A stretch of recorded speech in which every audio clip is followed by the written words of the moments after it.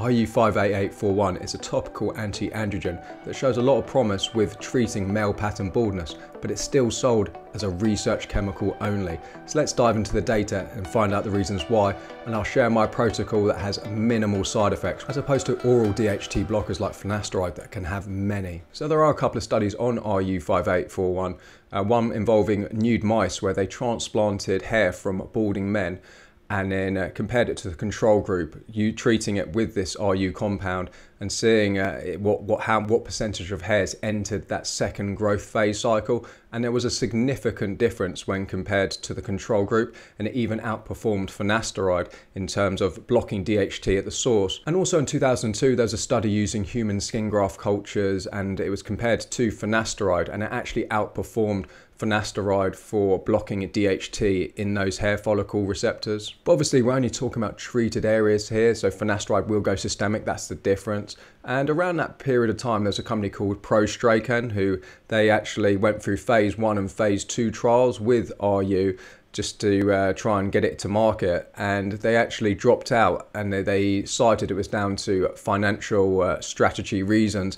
And i believe around this period of time finasteride was becoming really popular and there weren't any scare stories about its uh, side effects. So I think the market was very much saturated. And I think it's a shame now that the time has passed for it to go through FDA approval because it's just not financially viable for any company, just making it more of an underground research chemical, which I don't think it should be. But fortunately, there's a lot of anecdotal reports with it and very minimal side effects. Some people get redness around the scalp, but that can actually be down to the carrier that comes with it, whether that's some form of ethanol, um, like a lot of people use minoxidil, that's what I'm using, 5% minoxidil. And the reduced shedding can even be noticed within the first two to four weeks, which is impressive. And then some people even report like regrowth over like, you know, three to six months. Some people actually report the opposite of shedding in that first period, but obviously minoxidil, that can cause that in that first stage as well. And yeah, it's particularly effective, you know, in the front area, you know, temples and crown. And uh, but what about the midsection? And that's where I think using some kind of ketoconazole shampoo, like an anti-androgen, it might be mild, but you're just trying to target those areas that are less high risk. Check out our 12 month rejuvenation program, where every three months we look at 225 different biomarkers and get your future vitality optimized. There's even a six month break clause if your situation was to change. So that gets me into my protocol with RU5841. So I get five grams of it and then I divide that three ways into three 60 ml bottles of minoxidil. And so that works out to what just under 1.7 grams per bottle. And so the strength actually works out to 2.8% strength. So for some people that would be strong enough. Other people you'd probably want to split that five grams into two bottles so two and a half grams per one and just to get the strength up depending on how aggressive your hair loss is I used to use the foam minoxidil in the morning as well, but I think it's overkill with using this Revita shampoo, although it is very handy when doing the microneedling, because I do it at a depth of one millimeter, so I think that would be, be at the risk of building up systemic uh, RU5841 if I was to apply that on the same day. But by doing the microneedling in the evening while I'm watching TV, then uh, first thing in the morning when I wash my hair with a Revita shampoo, then I do have some uh, improvement in scalp permeability, while also increasing blood flow and stem cell activation in those areas. And I even do it around the sideburns because they're high risk areas of grey hairs. For myself, I'm using around one mil per day. So then that means that those three bottles will actually last me six months well, maybe even a little bit longer because I only do it six days a week. On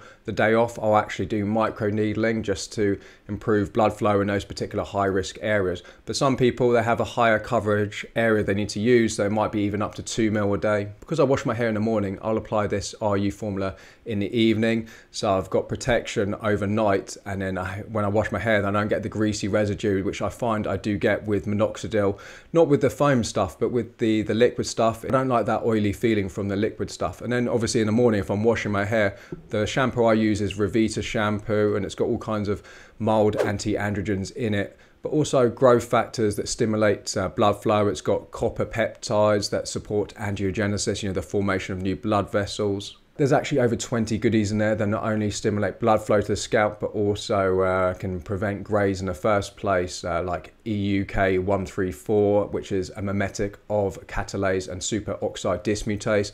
And catalase deficiency in the scalp is a like leading cause of greyness. I actually started using Revita all the way back in 2012, so I think that has prevented a lot of hair loss that would have happened. I also took 500 milligrams of saw palmetto for years, and that's a, a mild uh, 5AR inhibitor. Uh, nothing compared to, say, finasteride or dutasteride but then it does have lower side effects too. And so that gets me on to um, other parts of my protocol. I do take dutasteride three days a week spread out. And yeah, a lot of people don't uh, fare very well with dutasteride or finasteride for that matter. Obviously, dutasteride is that bit stronger, working off two different receptors. But uh, yeah, say with finasteride, a lot of people just don't react well. They, some people can. They might just end up splitting the pills four ways. So you're doing a quarter milligram a day just to get some suppression of DHT, but uh, not get the full side effects from it. And for myself, yeah, I can get away with dutasteride. It does dull my libido just a little bit, but um, I, I, can kind of get away with it. But I, I, believe because I'm on TRT as well, that does cancel out some of it. Because say if my testosterone was um, my, my, previously it was like low, like low normal, and so I've basically doubled it up some like really you know like high on the reference range. And so if you're doubling your testosterone on paper, in theory, your DHT will be about 50% higher. So if you're crushing it down, say in my case, by taking it three days a week, probably around the 90% mark, I've crushed it. So there is some DHT in circulation as no hormone should really be crushed down to nil as it can have negative feedback loops elsewhere. So if you're someone that's had issues with say depression or libido or impotence, then it's quite high risk to take something like finasteride or dutasteride and that's where I think this IRU 5841 compound really comes in, especially when you combine it with one of these ketoconazole shampoos. I think that's where the synergy comes in, those two things together, avoiding that systemic blockade of androgen receptors. And starting one of these 5-alpha reductase inhibitors like dutasteride or finasteride is quite high risk. You could argue it's a bit like starting TRT because to be on it long enough to get the benefits of reducing, you know, shedding hairs, getting some regrowth, then you're also getting the risk of side effects. And much like with starting TRT, it's no impulse decision. You really need to be sure that it's what you want to do, where you're going with it. And say if you are in the early stages of hair loss, I think it's a scale you need to go down. So you do these things that have minimal side effects first of all and see how you fare with that and if it doesn't work that well or you know your hair loss gets more aggressive then the risk to reward ratio becomes a bit better for blocking at DHT systemically. As it's no joke uh, it's called post finasteride syndrome. I've come across it. Uh, the, you know it does happen where sometimes people it's in their head where they might have done uh, finasteride for a week and say they've got it, which is just is silly, really. But yeah, when someone's on it for a few months, then it can have long-lasting effects. Especially with dutasteride, it's got an even longer half-life. So if you do get impotence from it, then that can last a long time. Moving on to cost, neither of these interventions are very expensive. At the current rate I'm using my RU, it comes to what, about $10 a month plus the minoxidil, so not, not a great deal.